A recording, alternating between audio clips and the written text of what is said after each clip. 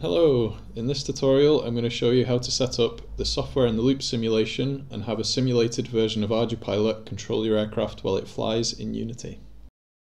By the end of this video you should be able to run a simulation of ArduPilot using Mission Planner, you'll be able to send your aircraft's state information from the Unity simulation over to the simulated version of ArduPilot and then we're going to also make sure that the servo signals that are coming back from ArduPilot are correctly used in the Unity simulation.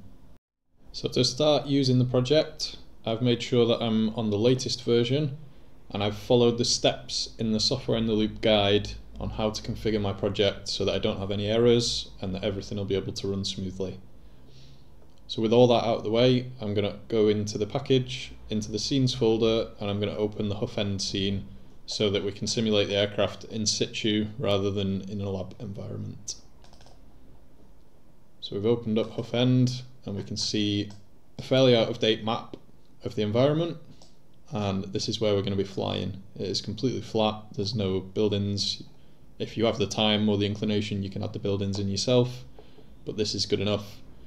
You'll notice I've deleted the main aircraft that comes in the scene, that's because I have my own prefab now, so I'm going to go into aircraft folder. This will be in your assets folder, remember. I'm going to take my main aircraft and I'm going to drag it into the scene like so. Then I'll just go to a top-down view. I'll put it roughly where we take off and then I'm just going to go in and make sure that it's on the ground. Next I just need to go into all the cameras and I'm just going to set the target of each camera to be the aircraft.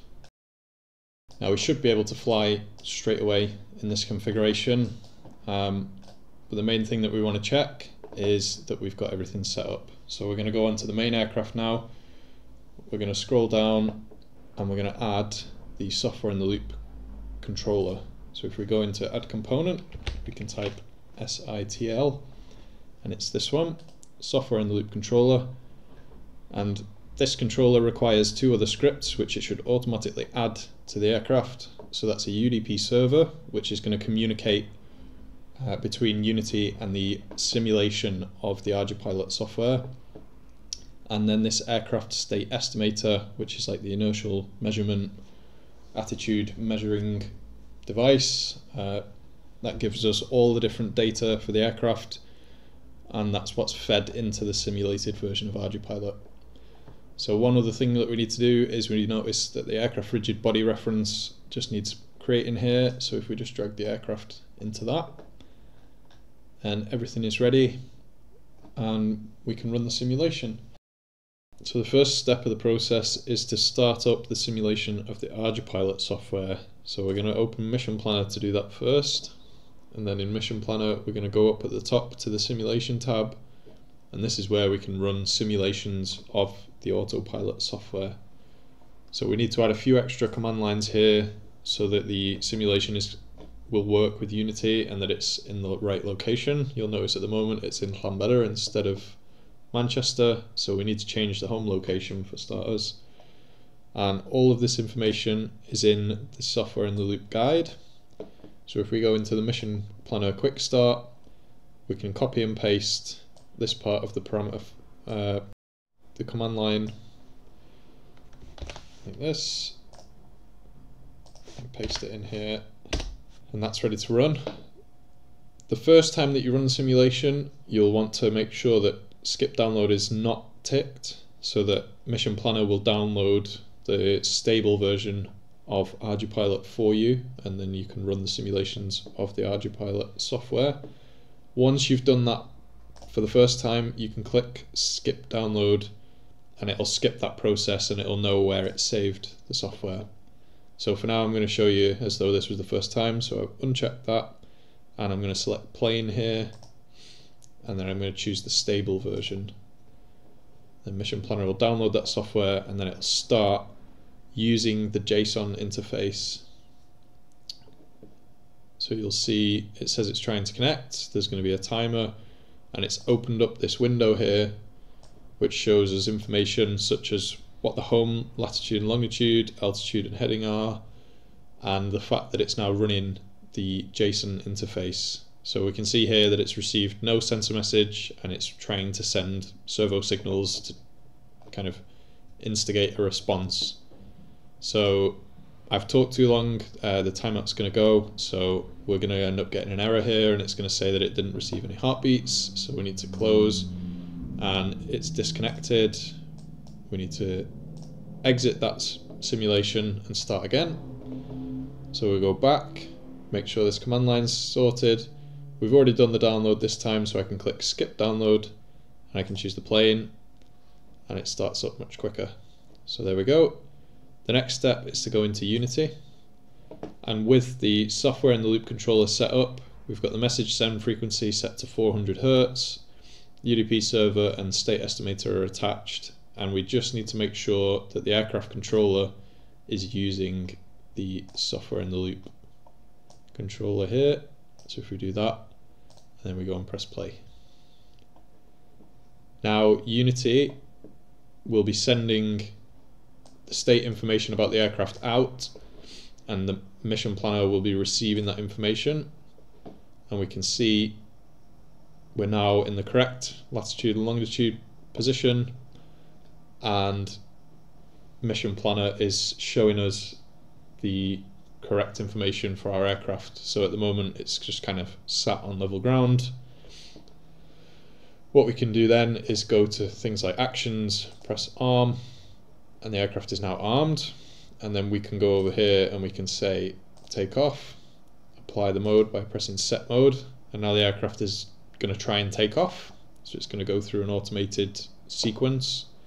And then if we go back to Unity, we'll notice that nothing's happening. And that is because the servo signals that are being sent are incorrect. So the next step is for us to figure out what's going on here and solve the issue of our servos being wrong. So by default, both Unity and ArduPilot assume that the aircraft is controlled by providing attitude demands to the aircraft. So that's one value that represents the roll of the aircraft, one value that represents pitch, one for the throttle, and one for the yaw of the aircraft. In Unity, that corresponds nicely to the sticks on a radio transmitter or an Xbox controller or the arrows on your keyboard.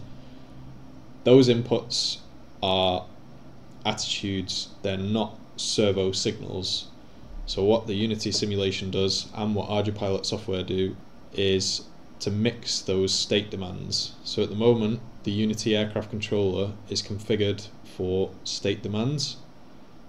Those state demands are passed on through a control mixing matrix, which then associates the roll demand to aileron signals, the pitch demand to an elevator signal, etc.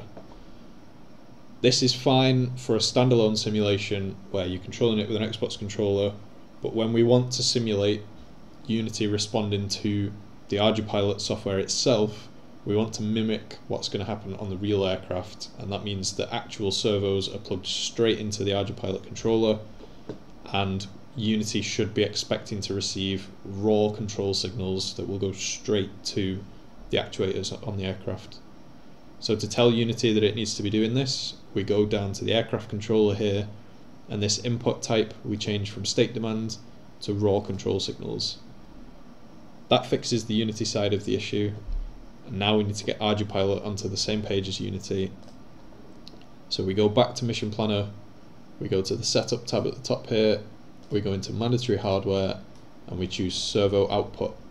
And this will give you a list of all the functions that ArduPilot expects for the servo signals that it's providing you with. So for example, this first servo signal that ArduPilot is putting out, it thinks corresponds to an aileron, which in this kind of default setup would correspond to a roll demand for the aircraft. Because there's only one aileron, it's the same thing as saying that's the roll that it wants to be at. And again, the elevator and the rudder are the pitch and the yaw. And then we also have throttle. So if we take this side by side with Unity, we can go into the control allocation again and we can see the list of actuators here and we can compare and match them up to ArduPilot. So we'll see here the first servo should be an aileron and if we go back to Unity it is a starboard aileron so we were lucky there Next is the elevator. So in Unity, we can grab the little two lines next to these and move them around. So let's put the elevator as the next element. Then we have the throttle. So if we go to the propulsion system, that's the third element. Then we have rudder, and then we've run out of servos. So we need to go to the function here and add, we need a flap. So that's this element. Then we need another aileron. That's this one. And I know that this one needs to be reversed. Not both of the ailerons, just this one. And then finally we have the other flap. If you don't have flaps, you don't need to add flaps in ArduPilot and your list of actuators should not include flaps anyway, so just ignore the flaps. One final thing to check in ArduPilot is the min and max values for your servo's PWM signals.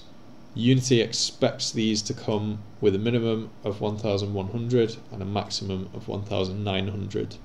It doesn't matter about the trim, that's just the kind of zero value for ArduPilot.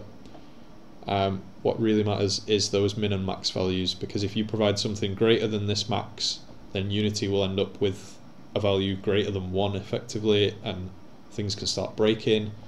Also, if the minimum value is too large, then Unity won't be able to bring things like the throttle down to completely be at zero. So we need to make sure that they align as well. So once we've done this, everything should be properly aligned and we can go back to data we can zoom out of our aircraft. And we should be able to arm and try to take off again. So let's try set mode to take off. And we see that the aircraft lifts into the air reaches a good altitude or the prescribed altitude, which should do eventually. There we go. Oh, and it fell out of the sky. So this is just using the default parameters that ArduPilot provides for a plane controller. Um, the next steps will obviously be to configure those parameters so that they control your aircraft much better than this, hopefully.